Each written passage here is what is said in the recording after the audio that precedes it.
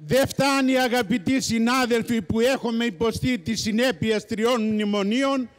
Έχουμε και μια λιτότητα διαρκείας πλέον που υποβαθμίζει συνέχεια το βιωτικό μας επίπεδο. Υποβαθμίζει την ίδια μας τη ζωή.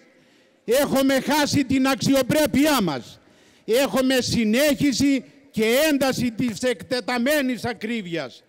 Παράλληλα έχουμε εκτείναξη των κερδών των επιχειρήσεων και στον αντίποδα όλων αυτών μια συνεχόμενη μείωση της πραγματικής σύνταξης παρά τις αυξήσεις που λένε ότι μας δίνουν. Καθημερινά πλέον ξεδιπλώνεται μπροστά μας η πραγματική ατζέντα που κρατούσε επτασφράγιστο μυστικό όλη την προεκλογική περίοδο η Νέα Δημοκρατία. Φαίνεται πως αυτό το 41% ξεπλένει τα πάντα. Ανενόχλητη και χωρίς αντιπολίτευση ξεφουρνίζουν κάθε μέρα μέτρα σε βάρος των πολλών όπως κεφαλικός φόρος για τους μικραμεσαίους, σύνταξη στα 74 ακούστηκε για τους εργαζόμενους, δραστικές παροχές του ΕΦΚΑ με πρόσχημα των, τους συνταξιούχους των ΔΕΚΟ και αυτό ακούστηκε, το ετοιμάζουν.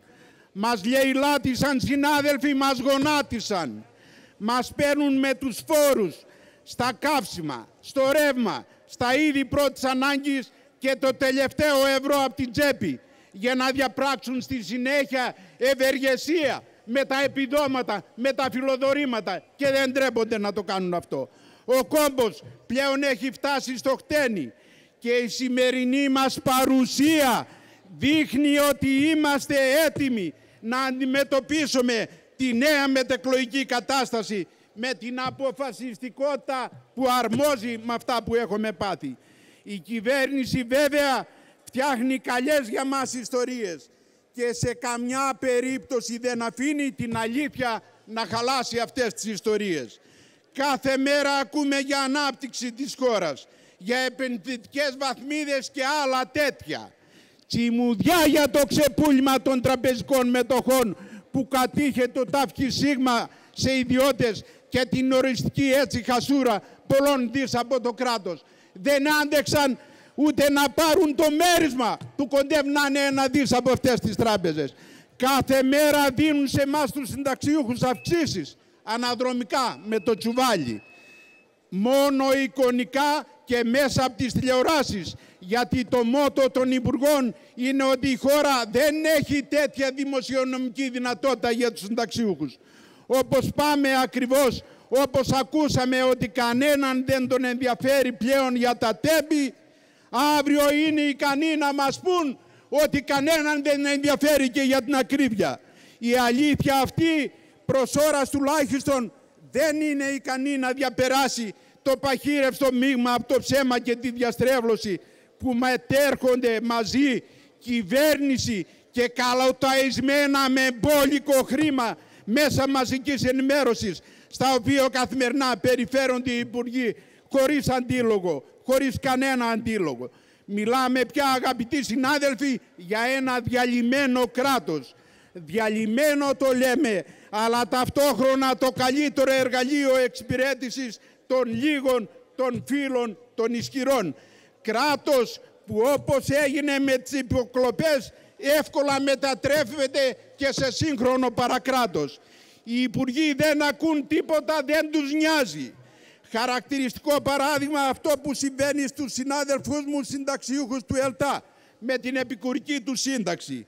Οι συνταξιοδοτηθέντες πριν το 2015 οι οποίοι εργάζονταν στον ίδιο εργοδότη με τα ίδια και πολύ ψηλά ασφάλιστρα. Έκαναν την ίδια εργασία, πολλές φορές σε διπλανές καρέκλες και φυσικά είχαν τις ίδιες αμοιβές, παίρνουν τη μισή ακριβώς σύνταξη με αυτούς που συνταξιοδοτήθηκαν έστω και λίγες ώρες αργότερα. Ζητάμε επίμονα να γίνει επαλempολογισμός. Τι ζητάμε συνάδελφοι, να γίνει επανυπολογισμός με τον νόμο Κατρούγκαλου. Όταν ήταν να περικόψουν επικαιρικά τον εφάρμοσαν. Τώρα που είναι εμείς να πάρουμε πέντε φράγκα παραπάνω δεν τον εφαρμόζουν. Αυτό σημαίνει για μας να υπάρχει ένα σκαλοπάτι μεταξύ του παλιού και του νέου συνταξιούχου. Όχι αυτό που συμβαίνει σήμερα, βάραθρο ολόκληρο, μισή σύνταξης που ένας παίρνει 300 ευρώ και ο άλλος 150. Αυθαιρετούν. Πού είναι η ισότητα; Η κυβέρνηση δεν είναι, η κάθε κυβέρνηση δεν είναι να εφαρμόζει το Σύνταγμα. Αυτό δεν μιλάει για ίση μεταχείριση. Δεύτερο εξίσου χοντρό παράδειγμα που δείχνει τι κάνουν με τις ΔΕΚΟ που η κυβέρνηση είναι ο επικεφαλής. Αφορά αποζημίωση για 700 νέους συνάδελφους που συνταξιοδοτήθηκαν το 2019 και το 20 στους οποίους έγινε με ταχυδελακτουργικό τρόπο κλέψιμο της μισής αποζημίωσης με αυθαίρετη της διοίκησης του ΕΛΤΑ απόφαση διαπεριφοράς μέσα στον κορονοϊό για να μην υπάρξει αντίδραση. Οι συνάδελφοι και συνάδελφοι, η προηγούμενη διοίκηση του ΕΛΤΑ χρωστούσε τη μισή αποζημίωση σε αυτούς τους συνάδελφους και θεώρησε καλό να πάρει μια απόφαση το 20 πήρε την απόφαση και τους χρώσταγε τα χρήματα από το 19 και να τους τα κόψει. Αυτό δεν είναι κλέψιμο.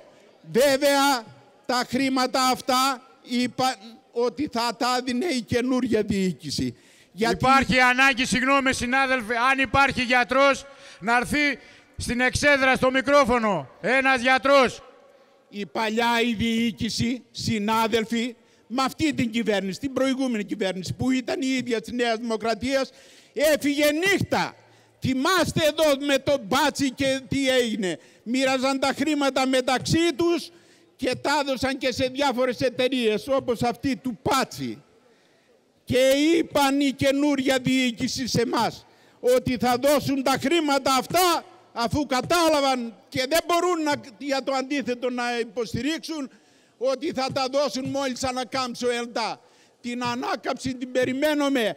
Πώς θα γίνει όμως αυτή; Με συρρήκνωση παραπέρα του δικτύου, με κλείσιμο των ταχυδρομείων που το βλέπετε όχι μόνο στο κέντρο αλλά και σε όλη την επαρχία.